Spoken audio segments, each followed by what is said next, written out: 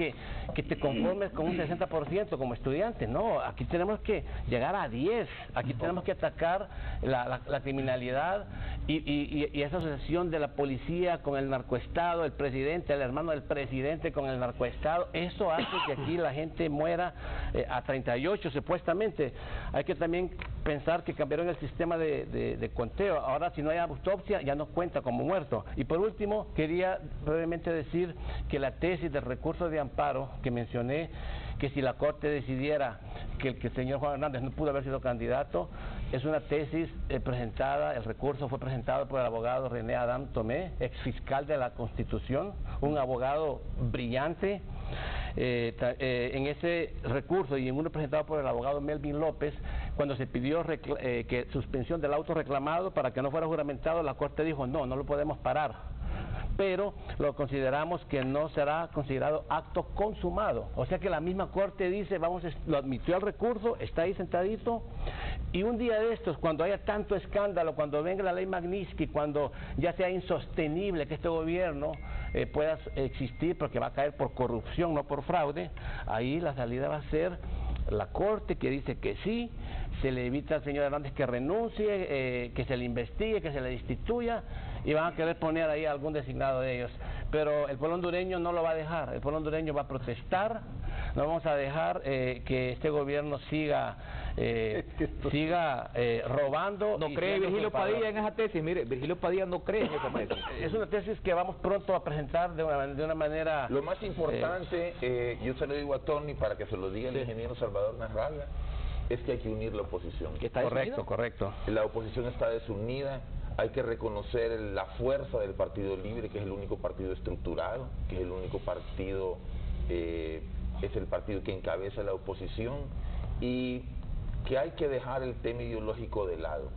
Eh, es muy importante que entendamos en la oposición que todos nos necesitamos. Mm. Eh, necesitamos al Partido Liberal, necesitamos la fuerza de Salvador Narrala y necesitamos al Partido Anticorrupción y al Partido Libre.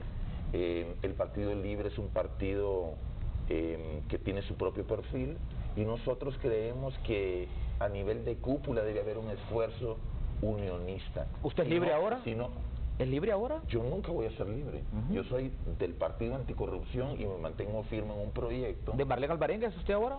Porque Marlene es la que está al frente del PAC. de Rodrigo no, yo, yo me debo a él porque él es mi jefe yo, acá. Yo me debo al Partido Anticorrupción. Bueno, ¿Marlene Alvarenga es la presidenta? Ella la reconozco como presidenta. A, a Narrala no.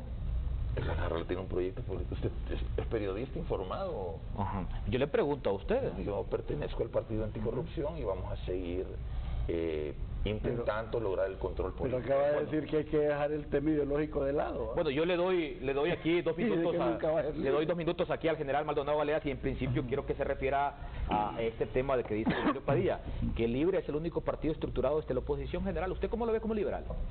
Cada partido tiene su su estructura, su enfoque, su, su política partidaria. Y, en términos de los objetivos de libertad y refundación que giran alrededor de Asamblea Nacional Constituyente, de, comandos insurreccionales y, de cierta de cierta política que, que unifica en función de, de, la violencia en algunos casos, eh, las personas se unen alrededor de ese tipo de, conceptos, así como el Partido Nacional se, se se unifica alrededor de un proyecto continuista anunciado en el 2014, recuerdo, en el aniversario del mismo partido, que iba a gobernar por 50 años. Entonces eso provoca expectativas.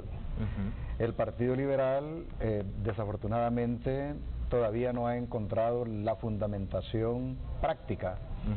Recalco esta palabra, práctica para la unidad, porque tenemos una fundamentación teórica de primera, declaración de principios, tenemos una fundamentación histórica, tenemos una fundamentación de liderazgos históricos también, pero no tenemos la, no ha habido la capacidad para visionar al partido para diseñar una política partidaria y una estrategia partidaria. En razón de ello, pues, es, acertada la apreciación de él al, al referirse a libertad y refundación. Pero hay un defecto, la unidad de, libertad y refundación no edifica democracia, no contribuye para que la oposición en forma integral pudiera ser verdaderamente una oposición política. No, y solamente en materia de estructura, yo le recuerdo aquí a Virgilio Padilla que el Partido Liberal hoy tiene 91 alcaldes y el Partido Libre solamente tiene 30. Estructura es, otra cosa. Es que el problema del Partido Liberal no es estructura, es liderazgo. Hacemos una pausa, ya volvemos. Como peatón debes tomar estas medidas de prevención cuando salgas a la calle. Debes transitar por las aceras, puentes, túneles y pasos peatonales destinados para tu libre circulación. Recuerda observar hacia ambos lados antes de hacerlo. Cuando caminas acompañado de niños, debes tomarles de la mano en todo momento. Utiliza los puentes peatonales al cruzar de una acera a otra. Valora tu vida. Recuerda respetar siempre las señales de tránsito. Este es un mensaje vial de Seguros Atlántida. Este segmento de Foro Canal 10 fue presentado por Seguros Atlántida. Hacemos más por usted. Ya regresamos con Foro Canal 10.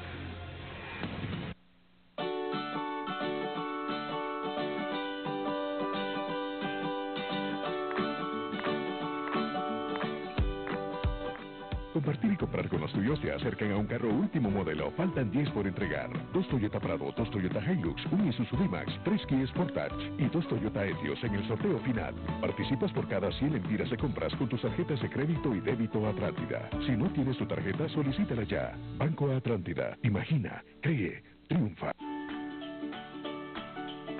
Queremos darle la bienvenida a toda Honduras a la Navidad Catracha. Invitamos a toda la familia hondureña a vivir estas fechas en familia. Disfrutemos con los nuestros estas fechas tan especiales para todos. En todo el país se podrá vivir la Navidad con carrozas, villas navideñas, juegos tradicionales, la deliciosa comida típica de la época. Esto es un esfuerzo que le debemos a miles de voluntarios que solidariamente se unen en esta época de paz y amor. Bienvenidos, a la Navidad Catracha. Después de casi una década de intentos fallidos, este Congreso Nacional aprobó una ley que incluye más restricciones para adquirir y portar armas en Honduras. Antes, jóvenes de 18 años podían tener armas. Ahora, para tener un arma hay que ser mayor de 21 años. Antes se podía tener hasta 5 armas. Ahora se puede tener un máximo de 3. Antes, cada persona podía portar hasta 5 armas. Ahora se puede portar máximo 2. Antes se podía comprar municiones sin restricciones Ahora solo se puede comprar municiones de las armas que la persona registró. Antes no había análisis psicológico para emitir licencias. Ahora es obligatorio un examen psicológico. Antes había registros de armas solo en Tegucigalpa y San Pedro Sula. Ahora habrá 44 centros de registro en todo el país. El 77% de las muertes violentas en el país se producen por un arma de fuego. Controlando registro, tenencia y portación de armas se reduce la violencia en las calles. Congreso Nacional, abierto, plural y democrático. Tú como peatón debes tomar estas medidas de prevención cuando salgas a la calle. Debes transitar por las aceras, puentes, túneles y pasos peatonales destinados para tu libre circulación. Recuerda observar hacia ambos lados antes de hacerlo. Cuando caminas acompañado de niños, debes tomarles de la mano en todo momento. Utiliza los puentes peatonales al cruzar de una acera a otra. Valora tu vida. Recuerda respetar siempre las señales de tránsito. Este es un mensaje vial de Seguros Atlántida.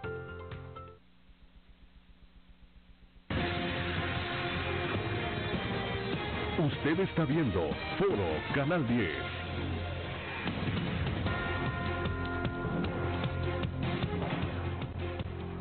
Le estamos consultando hoy en Canal 10. ¿Cree usted que Juan Orlando Hernández debe continuar con los cambios de ministro de su gabinete de gobierno? Si cree que sí vota por la A, si cree que no vota por la B. Usted participa enviando un mensajito al 1015 o marcando el asterisco 1015. Respecto a la expectativa 2019, yo le consulto a Virgilio Padilla. ¿Debe continuar con los cambios Juan Orlando Hernández en su gabinete? Mire, el principal cambio que debe existir es el cambio del presidente de la República. Quiero decir algo. Si nosotros vamos al cine. Y vemos el guion de Juan Orlando Hernández, vemos que es un presidente que lleva, llega a la posibilidad de ser presidente por un golpe de Estado, que forza la reelección, que sale en caravanas huyendo del país, que militariza la sociedad. que se muere el hermano en un helicóptero, que el hermano es eh, capturado por narcotráfico, que hay fraude en la elección. ¿Cómo termina esa película? Esa película va a terminar mal. Yo creería que el presidente, antes de que las cosas empeoren, debería, eso sí, renunciar por el prestigio de la patria. Otra cosa muy importante, ¿cómo cree usted que nos ven en el exterior? ¿Qué aporte le da Honduras al mundo?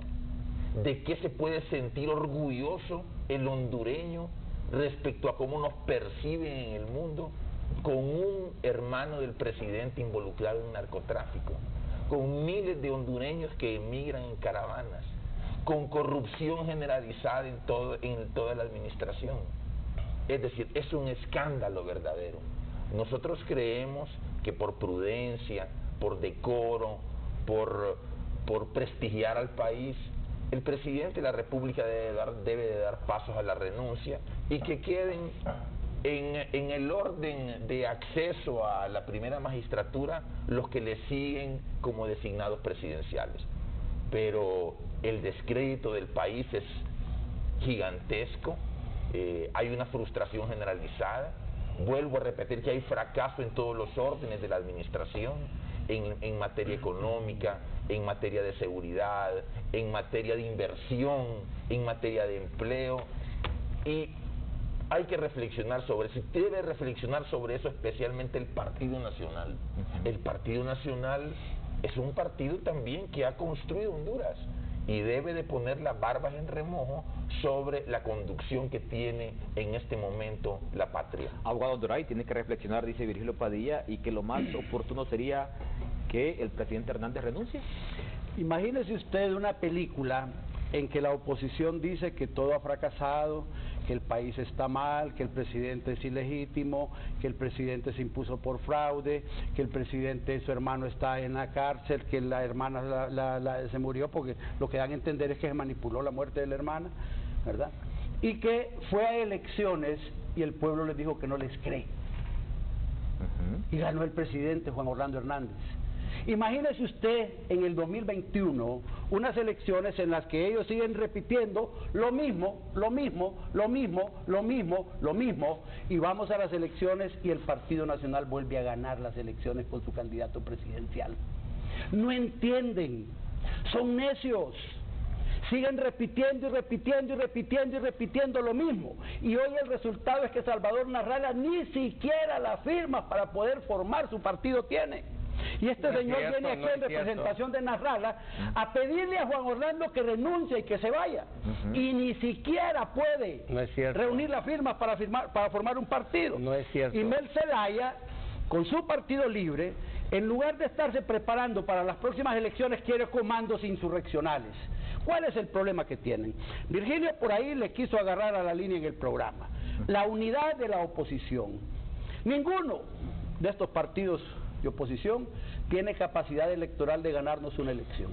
Si hoy hacemos una elección, si hoy hacemos un plebiscito para preguntar por la reelección, se la ganamos los nacionalistas. Háganlo pues. No, no sé si ustedes, ustedes no quieren, boicotearon en el diálogo del plebiscito, hombre. Nosotros lo propusimos y ustedes lo boicotearon. ¿Por qué no quisieron? Lo invitamos. ¿Por qué no quisieron aceptar eso? ¿Por qué terminaron boicoteando? Lo invitamos a hacerlo. dijeron que no. Ustedes tienen la mayoría. Y ahora que viene en el Congreso la posibilidad, cuando, cuando Mauricio Oliva, cuando déjeme hablar, déjeme hablar. Cuando Mauricio Oliva les dijo Estamos abiertos, llegó el momento de preguntarle al pueblo, ¿sí o no? Ustedes tienen mayoría entonces, en el empezamos a hablar de eso, del plebiscito, entonces empezaron a buscarle que esta pregunta me gusta, que esta no me gusta, que esta sí, que esta no. Si no me dan amnistía, no hay arreglo en el diálogo. Esa fue la posición. Y fue una forma de evitar el plebiscito. ¿Por qué? Tienen un problema operativo probablemente la oposición junta tenga una capacidad electoral que nos puede poner en peligro a nosotros en las elecciones, probablemente, ¿verdad? Pero no tienen la capacidad de juntarse.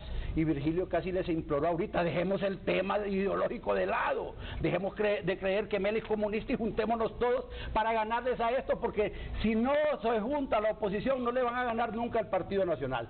Pero yo quiero decir algo, porque ayer leí un cortito ahí en las redes, un mensaje de, Luis Zelaya en el Partido Liberal que dice que el 2019 será el año de la unidad del Partido Liberal. Yo quiero desearle suerte en eso.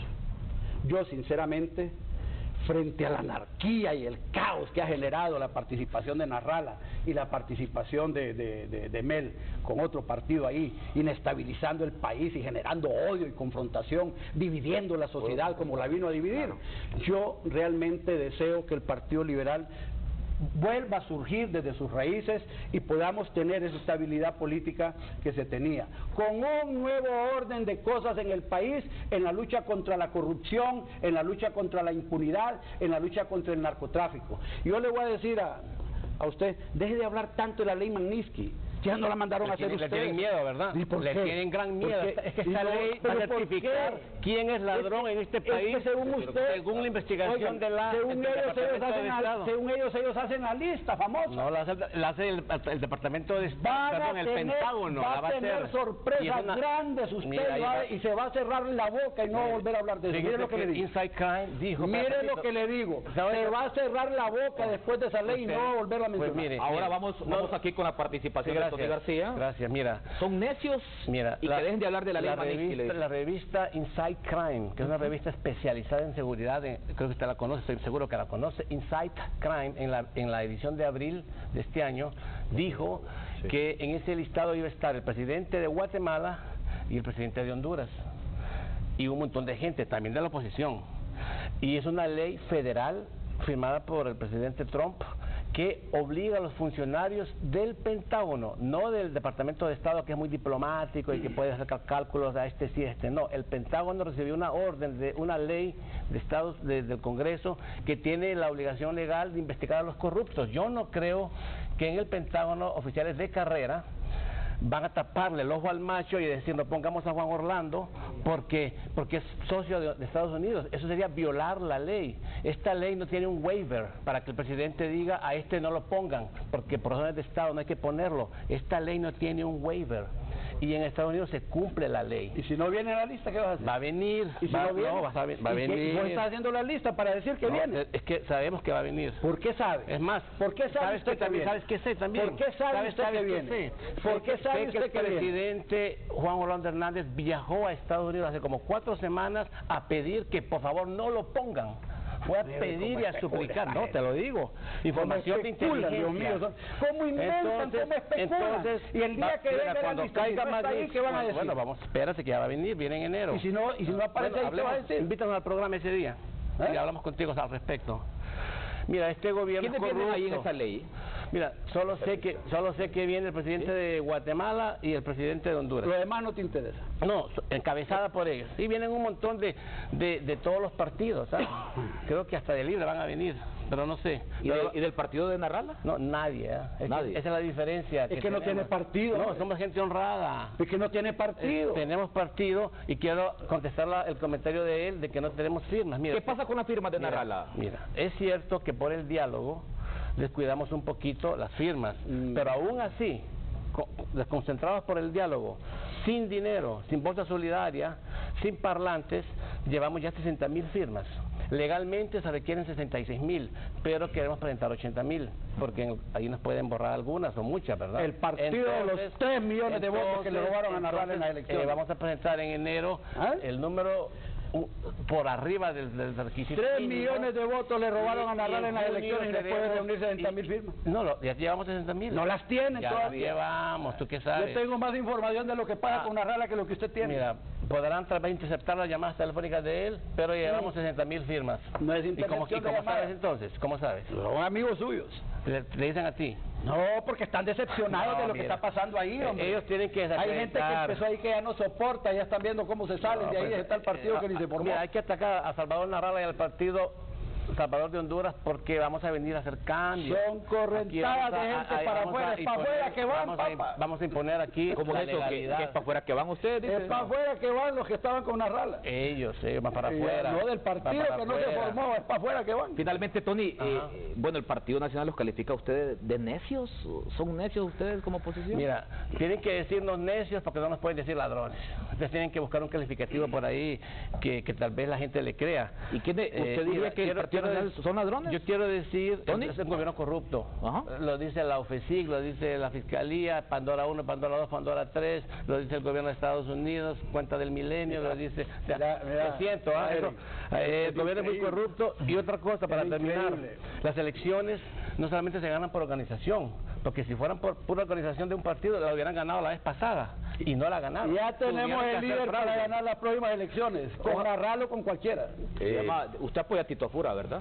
Yo apoyo al candidato que ponga el Partido Nacional y Tito Afura es uno de los mejores candidatos que No, pero usted apoya a Tito Afura. Usted me ha dicho, Pues es que usted me ha dicho que usted apoya a Tito Afura. Tito es mi amigo, no estoy promocionando ningún Quiero- candidato presidencial. Yo soy secretario ejecutivo de la Comisión Política del Partido Nacional y mi responsabilidad es promover la unidad y el fortalecimiento de la plataforma electoral. Si le ponen En a Ricardo trabajo. Oliva y a Tito, usted le dije a Tito, ¿verdad? Yo todavía no sé si Mauricio va a ser candidato, Ricardo se ha dicho que quiere ser candidato, Tito no ha dicho que quiere ser que candidato. uno de ellos sea. Pero tenemos, Ojalá. tenemos candidatos para ganar las Nos la elecciones. ponen fácil, y como ella además tenemos un partido para ganar las elecciones. Voy ahora, voy ahora con el general Luis Maldonado Galeas para que me haga un balance. Ve usted, el Partido Liberal, y mire que estratégicamente se colocó en el centro el, el general Luis Maldonado Galeas.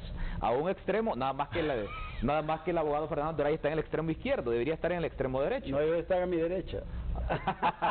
ve usted, ¿cómo ve este balance entre eh, los que son afines a Narrala, a Mel y también al el Partido Nacional? ¿Cómo ve este balance el Partido Liberal? Eh, ¿Hacia dónde vamos con esta correlación de fuerza? Eh, Yo creo que la, la oposición no supo encontrarse en su debido momento. Eh, ese debido momento comenzó en el 2014. En el 2014 cuando un cambio de leyes masivo eh, orientó la gestión del Estado en una dirección no tan apropiada. Y, el- y la, y la- la oposición que tenía, tenía mayoría en el Congreso Nacional en ese entonces eh, no, no supo revertir esa tendencia. Tampoco supo articular los, eh, los objetivos que se requerían para lograr un posicionamiento político conveniente desde la oposición para hacer frente al proceso reeleccionista. Eh, la separación o, o la no participación de Libertad y Refundación en el proceso del diálogo también eh, debilita eh, la oposición. Sin embargo, esta misma oposición tampoco supo definir los objetivos estratégicos, los objetivos políticos que se requieren para hacer frente a un partido organizado como el Partido Nacional y para hacer frente a toda una estructura con una visión, con una visión reeleccionista. ¿Y qué le pasa a la oposición? Porque pareciera que el Partido Nacional se fortalece respecto a la agitación de la oposición. Desde luego, y yo lo he dicho y lo quiero reafirmar, el éxito del Partido Nacional, el éxito del, del presidente Hernández en su, en, en su pretensión de afianzamiento del poder, no se debe tanto a la fortaleza del Partido Nacional como tal, ni a un liderazgo, eh, digamos, infalible de parte del presidente, sino que en una gran proporción se ha debido a la falta de consolidación de una oposición visionaria, inteligente, integrada. La- las oposiciones pueden tener divergencias de ideológicas, divergencias de, de estructuras, de declaración de principios, etcétera, pero deben de llegar a acuerdos interpartidarios. El acuerdo interpartidario no es lo mismo que la alianza partidaria para propósitos electorales. El acuerdo interpartidario es para alcanzar objetivos sucesivos en el tiempo que permitan lograr un posicionamiento democrático, no un posicionamiento eh, que vaya simplemente con una pretensión electorera, sino que un posicionamiento que le dé credibilidad al resto de la sociedad. Y al ubicarnos nosotros, enfocándonos en la pregunta, al ubicarse el Partido Liberal en una, en una posición con mucho respaldo, con mucho respaldo histórico, eh, ideológico, doctrinal, de liderazgos, etcétera, eh, es, es, es la mejor opción en este momento para abrir una brecha democrática. ¿Es egoísta Eh, ¿Es poco inteligente la oposición hoy para ustedes, general? Es egoísta. Ha, tenido conductas egoístas por haberse movido en direcciones particulares. Y desde luego eso lo ha aprovechado el Partido Nacional para sacarle ventaja a esa condición. ¿Es poco inteligente la oposición? Eh, Usted me lo ha dejado pueden haber Pueden haber personas inteligentes, pero la orientación de esa inteligencia es inapropiada. Eh, por ejemplo, el, diálogo nacional eh, no, no se enfocó no se enfocó en crear una plataforma adecuada para que en este periodo que viene del, del 10 de enero al 24 de enero de reformas constitucionales, ese diálogo hubiera dado frutos de que a la hora de la toma de decisiones significa una presión. ¿Hubo agendas ocultas? Eh, hay agendas particulares y en algunos casos se advierte de que hay de que hay agendas que, que se, se frenan para no hacerlas visibles y no revelar alguna estrategia partidaria. Pero en este caso sí yo quiero reconocer de que la oposición no ha tenido esa, ese aglutinamiento y esa visión y esa definición de objetivos estratégicos. Yo quise tener hoy en el foro de Canal 10 porque, digo yo, en lo poco me, yo me puedo caracterizar por alguien que le ha puesto bastante al tema de la democracia. Quise tener aquí a Carlos Eduardo Reina del Partido Libertad y Refundación porque hoy el Partido Libre, o sea, hoy Mel Zelaya va a juramentar a los comandos insurreccionales entonces, al no estar Carlos Eduardo Reina, en la Kennedy, para ayudar. En la Kennedy, en la colonia Kennedy, en la cuarta entrada y en una canchita, yo me veo en la obligación de hacer esa consulta a Virgilio Padilla, porque a Virgilio Padilla lo he visto hoy en, en ese diálogo que anda haciendo Mel Zelaya a nivel nacional, lo he visto pegado ahí con, con Manuel Zelaya, incluso hasta Luis Redondo anda ahora ahí. Tengo entendido que Luis Redondo quiere ser el candidato alcalde de una alianza futura para San Pedro Sula, y él ha visto en Mel Zelaya la persona que lo imponga a futuro como candidato alcalde por San Pedro Sula. yo le consulto ahora a Virgilio Padilla. Como regidor. ve usted, eh, ¿comparte usted, partiendo de su cercanía hoy con el expresidente Zelaya, eh, este tema de los comandos insurreccionales? Mire, Eric, eh, yo no puedo responder por el Partido Libre, pero sí puedo responder por el movimiento Rescate del Pacto. Nuestro movimiento está con insurrección pero ve la insurrección como un proceso constructivo. Nosotros reconocemos la destrucción del Estado de Derecho, reconocemos eh, una reelección ilegal que rompió trágicamente el pacto social hondureño. Muchísimos hondureños no lo aceptamos, la reelección. Eh, muchísimos hondureños creemos que el, el, presidente de la República usurpa el poder y se sostiene únicamente por el apoyo de los militares y la policía también queremos denunciar que el presidente de la República le ha dado la espalda a los presupuestos de salud y educación y ha incrementado, incrementado irracionalmente el presupuesto militar y de seguridad. ¿Y a qué le llaman insurrección ustedes? Porque yo no veo ninguna insurrección. Yo no veo ninguna insurrección. A la propuesta, a la resistencia pacífica, a la denuncia permanente, a lo que le molesta al licenciado Andurán. Pero insurrección es otra cosa. Si buscamos el diccionario, insurrección es otra cosa. Bueno, eh, es su manera de interpretarla. No, es nosotros, como se lo planteo yo. le quiero aclarar, eh, nosotros no nos obstinamos por, por la semántica, nosotros hacemos insurrección desde la denuncia. Eh, el licenciado Anduray mismo se molesta y nosotros vamos a continuar con este discurso hasta el final, porque creemos en el derecho, porque creemos en la justicia más que en el orden. Muchísimos hondureños prefieren el orden a la justicia. Y para nosotros la justicia es la constitución de la República, la obligatoriedad en el ejercicio de, la alternabilidad, en el ejercicio de la presidencia y la República, y nos vamos a quedar en esa dirección.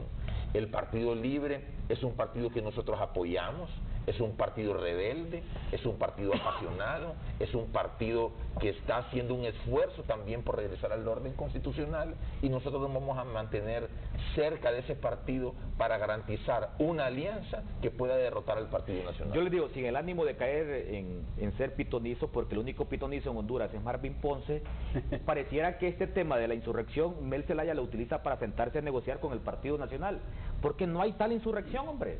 Aquí no hay insurrección de nada Incluso escuchaba ayer decir al, diputado Juan Barahona que ellos se van a retirar del Congreso si no hay segunda vuelta. Libre no quiere segunda vuelta, libre lo que quiere es el magistrado ya en el Tribunal Supremo Electoral. Ahora yo le consulto al abogado Fernando Andurey y después venimos con Tony y el general Luis Maldonado Baleas.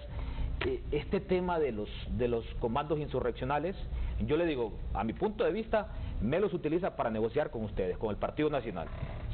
Pero es un tema que es congruente con la naturaleza política de la izquierda. La izquierda es revolucionaria, es de guerrillas, es de calles, es de, violencia, de tomar el poder y asaltarlo por, por una revolución. Pero una cosa es la teoría y otra cosa es la Eh, práctica. Sí, pero, pero Mel aspira a eso, ¿verdad? Y, y hay gente de izquierda radical que aspira a esas cosas.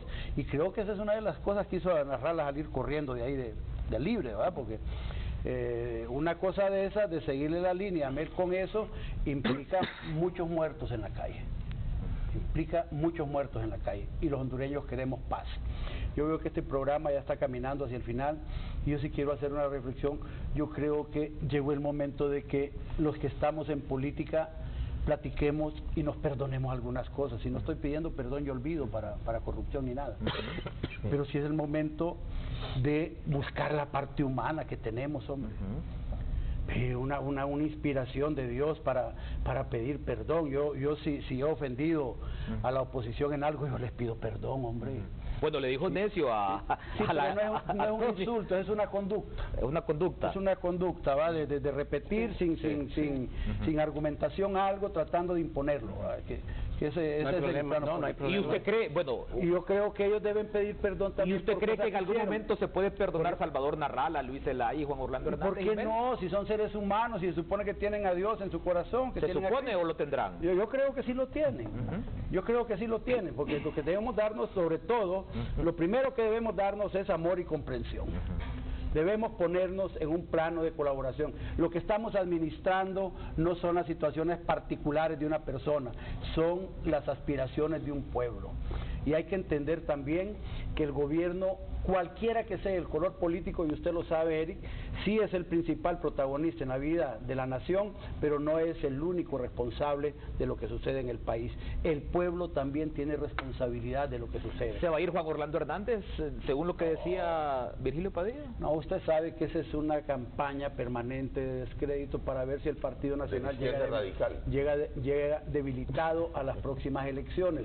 Eso es una estrategia de, de- de frente, que creo que la oposición ha puesto su esperanza en eso. Pero fíjese, ¿eh? fíjese que el, el- el asunto es que el Partido Nacional, Juan Orlando no está pensando en esa es una acción política que es inconcebible en el Partido Nacional.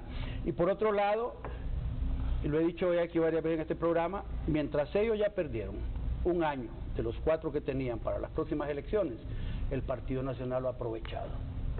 Nosotros tenemos seis o siete precandidatos presidenciales ya, están trabajando, promocionando, estructurando, el Partido Nacional está cuidando su unidad, mientras ellos ni siquiera tienen un candidato presidencial. Eso en el tiempo cuesta mucho en las próximas elecciones. Los que tienen experiencia política saben de qué les estoy hablando. El plebiscito de la reelección, si se mete, ¿quién va a armar urnas? tiene representantes para medios electorales. Y, si, si ese don Tony confesó que, que, que a Libre no llegaron 3.000 actas de las 18.000 Bueno. y ahí se quedó el fraude. Ahora le, ¿Ah? le doy la palabra a Tony. Yo sí le digo al abogado Anduray, el Partido Nacional hoy tiene tres precandidatos potenciales. Mauricio Oliva, Ricardo Álvarez y Tito Afuray. Los que quieran surgir, incluso Reinaldo Sánchez ya tiró la toalla. No ha tirado Ya la tiró la toalla, porque- porque ya tiró la tiró la toalla. Reinaldo Sánchez y le digo, Jesús Mejía incluso ya dijo, yo no me Jesús meto Mejía, Reinaldo y Olguita Alvarado. No, Olguita no y, tiene nada. Y Roberto Ramón Castillo también Olguita- está ahí. Olguita Alvarado no tiene nada, Y. Roberto Ramón Castillo también Y está la ahí. bandera de Jesús Mejía, ¿cuál es la N? La- bueno, Bueno. ve usted, yo le, le doy Sí, dos minutos a, a Tony. Tony, Sí. ¿ustedes perdonarían al Partido Nacional? Mira, eh, quiero decir en primer lugar sobre esas 3.000 actas que, que se llevaron, que las compraron, ¿verdad? El comprar actas es un delito electoral. ¿La vendió Mel? Ustedes las compraron Mel con no la vendió. dinero. No, no, ustedes las compraron con dinero. Aquí le roban la billetera a uno y acusan al, al que le robaron la billetera en vez de acusar al ladrón. Y si pierden el plebiscito de la reelección, también van a decir que compramos los miembros de la plebiscito- mesa. En cuanto al plebiscito, te recuerdo que hace tres años el Partido Liberal, Salvador Narrala, la oposición libre, pidió un plebiscito para para que el pueblo se pronunciara sobre la reelección. Entonces dijeron que no. Ahora sí lo quieren, pero hace tres años no lo querían. ¿Por qué antes no lo querían y hoy sí? Porque se dieron cuenta que el gobierno es ilegítimo. Eh, así, eh, quiero también decir que se me fue la idea.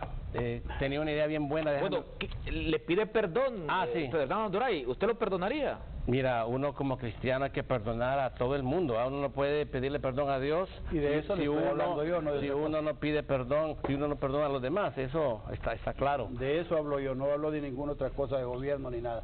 Es de conductas, de los momentos en que nos ofendimos, de los momentos en que recibimos acusaciones infundadas, en que hicimos eh, aseveraciones infundadas.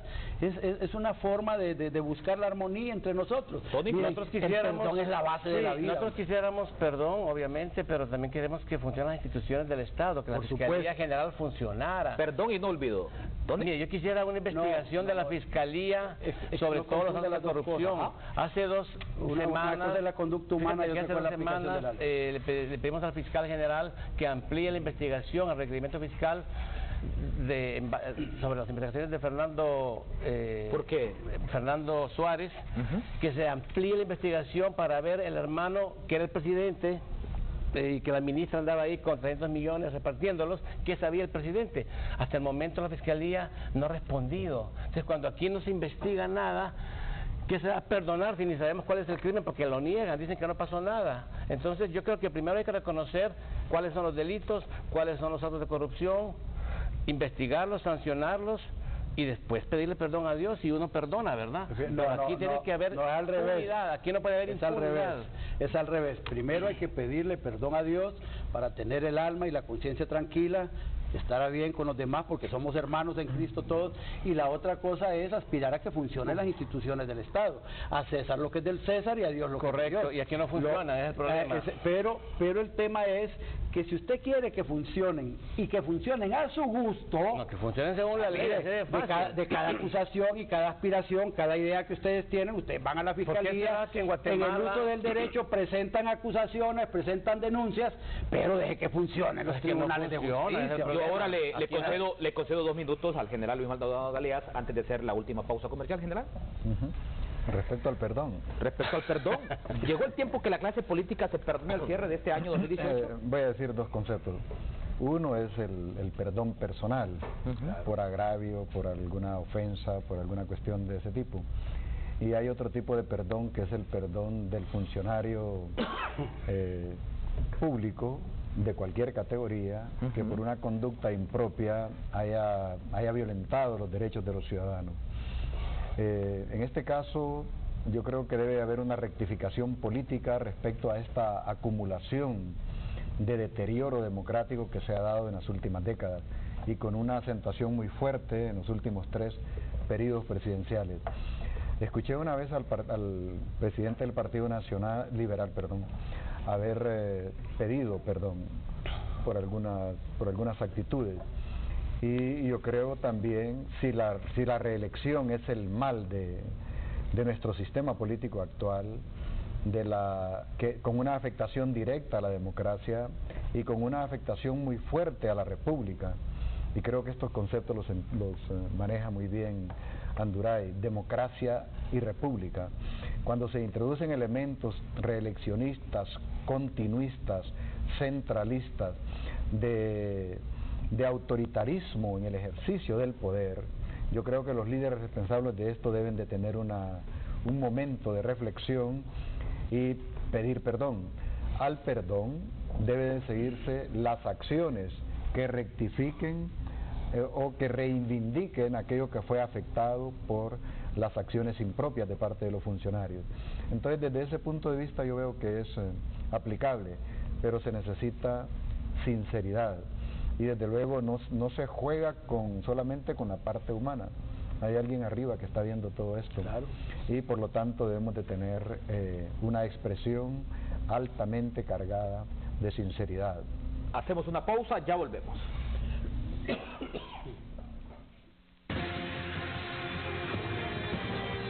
Ya regresamos con Foro Canal 10. Llegó el momento perfecto para estrenar vehículo con Autobac Credomatic. Así que no te quedes atrás. Aprovecha la oportunidad de elegir el vehículo que estabas soñando y llévatelo con 0% de interés durante dos meses. Servicio gratuito de GPS por seis meses y además con preaprobación inmediata al momento de tu solicitud. ¿Qué esperas? Estrena carro nuevo este año con Autobac Credomatic. Cooperativa Sagrada Familia, tu familia, te premia en Navidad con más de 500 premios entre estufas, microondas, juego de ollas, licuadoras y cajas de herramientas. Para participar se entregará un número electrónico por cada 200 lempiras de ahorro en cualquiera de las cuentas, aportaciones, Previcop y lazos familiares. Entre más ahorres, más oportunidades tendrás de ganar. Disfruta de la Navidad y comparte un maravilloso tiempo en familia, porque eres parte de nuestra gran familia. Cumplimos tus sueños. Sorteos a realizarse el 11 de enero de 2019. Restricciones aplican. Cooperativa Sagrada Familia te desea una feliz Navidad y un próspero año nuevo. Los hondureños no tenemos que darle la vuelta al mundo para sentirnos en su cima. Porque no es ningún cuento. Somos el corazón de América. El pulso del Caribe. Recorremos esta tierra desde pequeños algunos desde hace siglos. Pero crecemos y no se nos hace un pañuelo. Aquí podemos rodear hasta el cansancio, pero nunca hasta el aburrimiento. Rapidito nos damos cuenta que hay vida por descubrir. Desde lo profundo hasta lo más alto. Por eso lo típico es compartir. Y aun cuando decimos que vamos ahí nomasito, el camino se estira y el destino que espera siempre es más grande de lo que parece.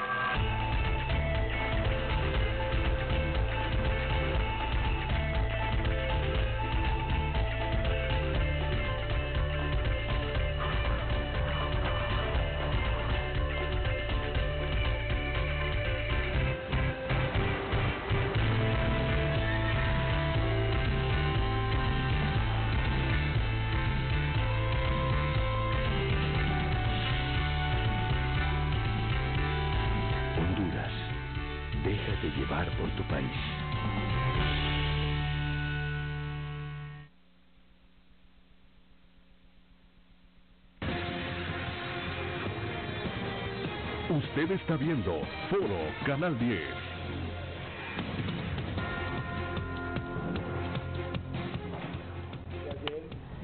Le consulto hoy en Canal 10. ¿Cree usted que Juan Orlando Hernández debe continuar con los cambios de ministro de su gabinete de gobierno? Si cree que sí vota por la A, si cree que no vota por la B. Usted puede participar enviando un mensajito al 1015 o marcando el asterisco 1015. El 50% vota por la opción A, que es el sí, un 50% vota por la B, que es el no.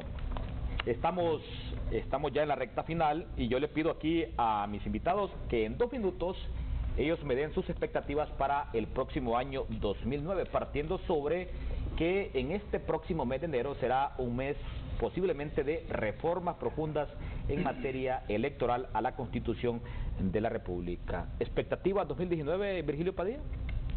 Bueno, el año 2019 debe ser un año de organización.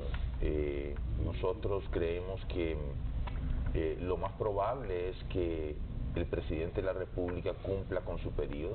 Desearíamos su renuncia, pero sabemos o reconocemos la fuerza del Estado. Em, hay que organizarse, hay que fortalecer la alianza, hay que fortalecer el movimiento rescate del Partido Anticorrupción, que es un proyecto magnífico.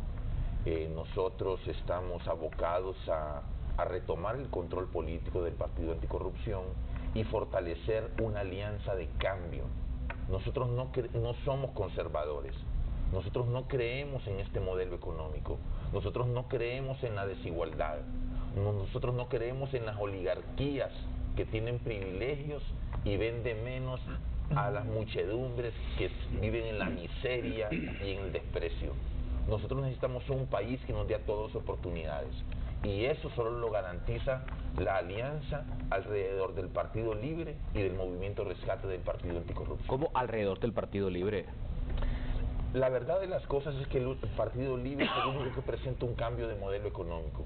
Nosotros eh, creemos, eh, nunca hemos escuchado del Partido Liberal una protesta contra este sistema económico que, que genera pobreza, desigualdad, crecimiento económico únicamente para los ricos y sobre todo un militarismo descabellado.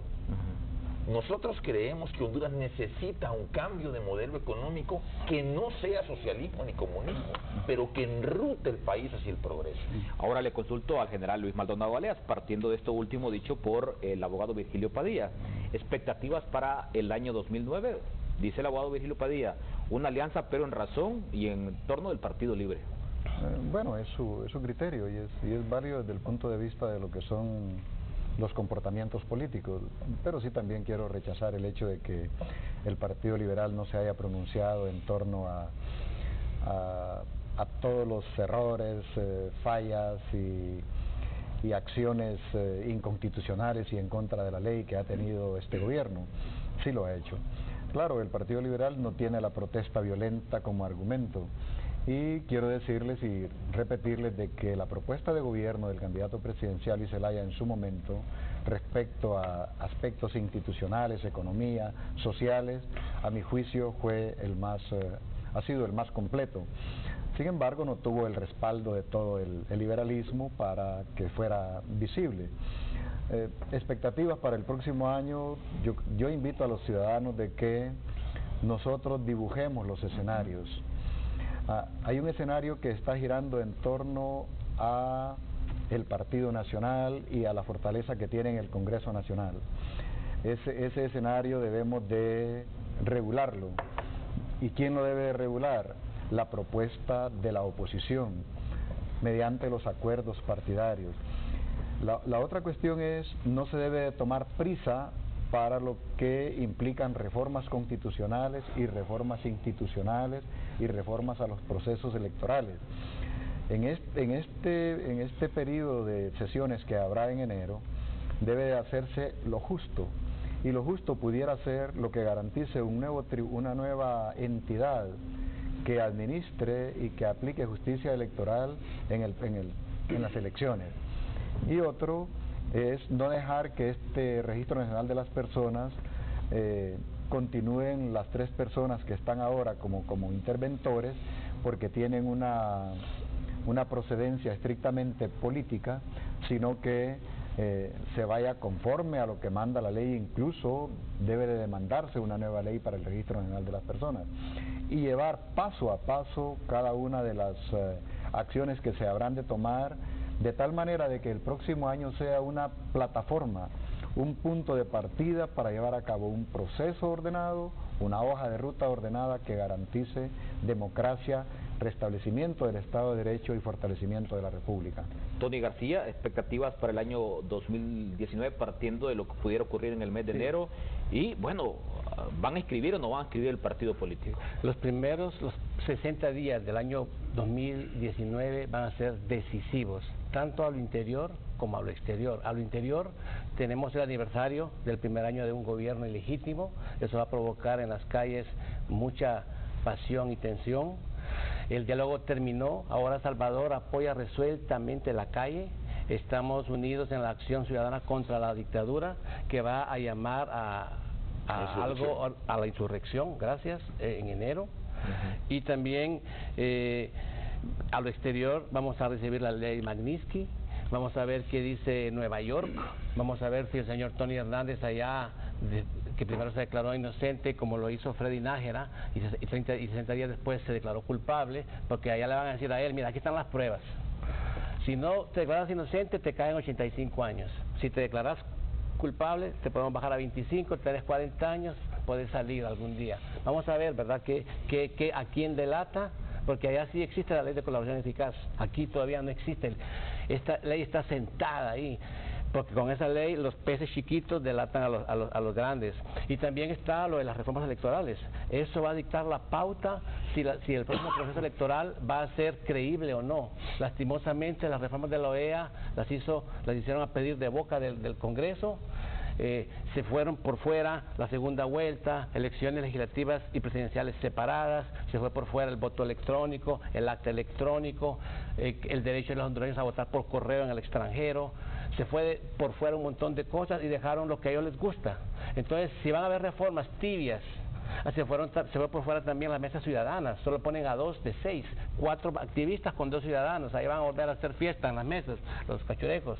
Entonces, si las cosas empiezan mal con reformas electorales, será una crónica anunciada de otro fracaso grande y esperemos que eso no suceda, que no lo van a, no lo baja el pueblo hondureño, ni la comunidad internacional, ni los buenos hondureños, ¿verdad? Que hayan reformas y, y de todo eso va a marcar la pauta. Y para terminar, si el señor Hernández sobrevive los primeros 60 días, después de Magnitsky, después de todo eso, pues, creo que se va a quedar los tres, pero los próximos 60 días son capitales, decisivos, muchas cosas calientes van a pasar que pueden terminar en, el, en la renuncia o la destitución del señor Hernández.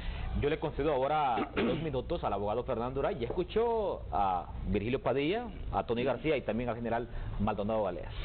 Le da la ventaja al Duray. Bueno, es, es el único es el único del oficialismo, él tiene el derecho también. Bueno, sí. mientras Salvador Narrala con Tony y Mel van a andar haciendo relajo en las calles, a nosotros nos toca trabajar por el país. Nos toca disciplinadamente ejecutar los programas de gobierno, evitar que el presidente se distraiga y que sus funcionarios se dediquen a obtener los mejores resultados, porque el país ha empezado a tener buenos síntomas de cambio. Como dije, ya el crecimiento de la pobreza que iba para arriba se detuvo y empezó a hacer para abajo. Necesitamos acelerar muy fuertemente el desarrollo humano sostenible, hacer algunos recambios o reorientaciones, como planteaba aquí el, el general, en temas como el del desarrollo humano a través de CEDIS, y fortalecer los programas de lucha contra la criminalidad, contra el narcotráfico, contra la inseguridad que hay en el país y sobre todo promover una fuerte inversión nacional y extranjera para la generación de empleo, la generación de riqueza, el fortalecimiento de los sistemas productivos nacionales, el tema del turismo que hay que darle muy fuerte, hay que aspirar a que al presidente le vaya bien en el control de las inversiones que se hacen en materia de salud y en materia de educación, porque no es cierto que se le haya quitado dinero a esos. Cada año tienen más dinero, más de mil millones por año les crece el presupuesto a salud y a educación. Y el tema ahí es de gerencia.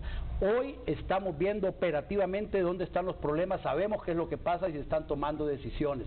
En materia política, Eric, aspiramos a que el próximo mes de enero en el Congreso se den las reformas políticas más importantes, si no todas, las más importantes para que haya estabilidad política. ¿Como cuáles? Por ejemplo, como el de la reestructuración del Tribunal Supremo Electoral. No hay duda que necesitamos un nuevo Tribunal Supremo Electoral, que decidan si lo dejan en tres o en cinco, que entren los que tengan que entrar ahí, lo mismo el Registro Nacional de las Personas. Solo lo planteo porque tiene que discutirse, pues va, a haber una decisión en el Congreso en eso. El tema de la nueva ley electoral, el tema de la justicia electoral, si se van a crear las instituciones de justicia electoral en el país, el tema del tratamiento de los hondureños que están fuera de Honduras y que de alguna forma hay que garantizarles un nivel de participación en la toma de las decisiones políticas del país, porque ellos mantienen prácticamente la, la, balanza económica del país con sus remesas, son más de 4 mil millones de dólares los que vienen al país y no pueden quedar excluidos de la toma de decisiones políticas. Mire que son temas que si nos sentamos responsablemente a promover una reforma política, el país puede estabilizarse y Juan Orlando va a estar sus cuatro años en el poder y si la ley Magnitsky trae gente del gobierno y fuera del gobierno, las instituciones deben funcionar en Honduras. Una cosa es que le digan a usted que no le que una, vaya, por ejemplo por ejemplo una mujer le diga que es bonito como le dice su esposa y otra cosa es que otra mujer le diga que a usted no le gusta porque usted no es el tipo de ella verdad una cosa es que las decisiones de la justicia y el sistema judicial sean favorables o sean del gusto de la oposición política y otra cosa es que no sean del gusto de la oposición política. Respetemos la institucionalidad del país porque el país se está fortaleciendo en materia de lucha contra la corrupción, contra la impunidad, contra el narcotráfico y por la seguridad del país. Yo invito a Virgilio, a Tony, el general pues ya lo hace, que aporten, que nos digan qué cosas podrían mejorar, en qué, con qué. Virgilio ya hoy dijo que lo que quiere es un nuevo sistema político económico, es decir, no le gusta el neoliberalismo, no le gusta el sistema liberal, probablemente quiere un sistema socialista del siglo XXI, que tengan valor y que lo planteen, porque eso equivale a decir que quiere una Venezuela o una Nicaragua en el país. Hago mi última pausa comercial. Cuando regresemos, un breve mensaje de parte de nuestros invitados. Ya regresamos con Foro Canal 10.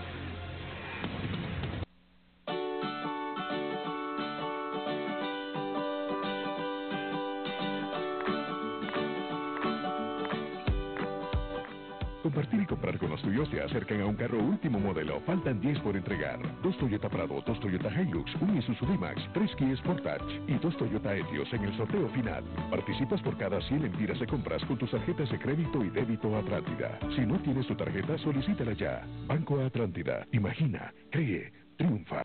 ¿Qué es natural en la vida? Hay quienes viven el deporte extremo para sentirse libres. Otros son libres haciendo lo que les apasiona. Existen quienes toman jugo Zula desde su empaque y existen quienes prefieren hacerlo desde un vaso. Para nosotros, natural es disfrutar de la nueva imagen de jugo Zula. La vida se toma así, natural. Jugos de naranja Zula, naturalmente cheque. Zula, pura confianza. Revisar los niveles de aceite, líquido de frenos y culante del vehículo es responsabilidad de todo conductor, así como asegurarnos que la presión del aire y el rodaje de las llantas sea el adecuado. Todo mensaje pueda esperar a que lleguemos a nuestro destino. La seguridad siempre es primero. Recuerda que al hacer uso de una rotonda debes ceder el paso y usar siempre el carril indicado. La seguridad vial es responsabilidad de todos.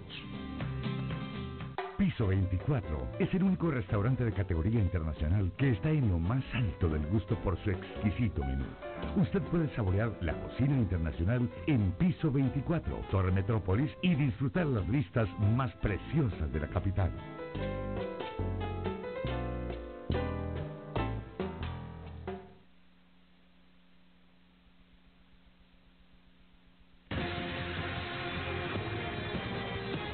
Usted está viendo Foro Canal 10.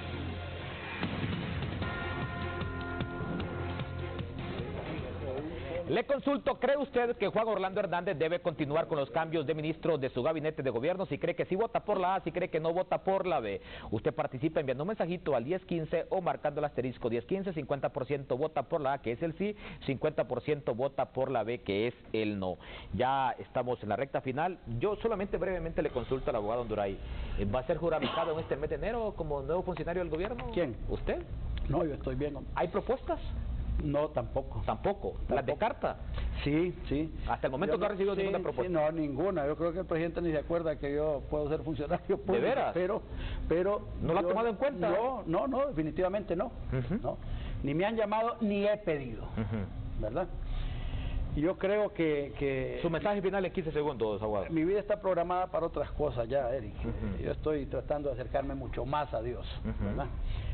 Entonces, eh, mi mensaje es de esperanza, es de fe, es de que los hondureños podemos encontrar rutas por las que caminemos todos, despojándonos del color político que nos inhibe ser protagonistas del desarrollo del país. Su mensaje final, general Maldonado Baleas, 15 segundos. Bueno, muchas gracias. Eh, Tribunal Supremo Electoral despolitizado, Registro Nacional de las Personas despolitizado, eh, una convocatoria, un plebiscito para reafirmar la vigencia de la Constitución que implica no reelección presidencial, una plataforma democrática en el año 2019 que sirva para poder eh, afianzar el Estado de Derecho y también tener eh, referentes de, en el marco legal para un nuevo proceso electoral Eh, esperamos de que los ciudadanos sepamos ser eh, eh, demandantes de lo que sea edificante para construir la democracia y para construir la república. Un feliz año nuevo para todos los hondureños. Muchas gracias. 15 segundos, Tony. Gracias. pues, renovar también la esperanza y la fe para el próximo año.